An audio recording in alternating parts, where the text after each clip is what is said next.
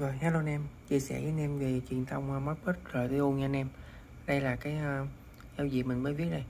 Thì bây giờ mình sẽ truyền thông giữa uh, đồng hồ nhiệt ôm rong và BC Mitsubishi nha anh em. Đây. Thì uh, mình sẽ đọc cái tín hiệu của cảm biến này và nó hiển thị trên uh, màn hình của chúng ta nha anh em. Đây, mình đốt thử nè.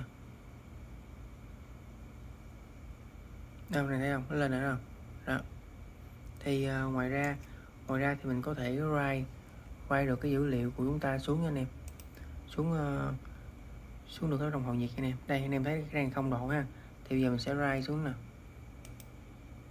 Ngay xuống năm bảy độ nè.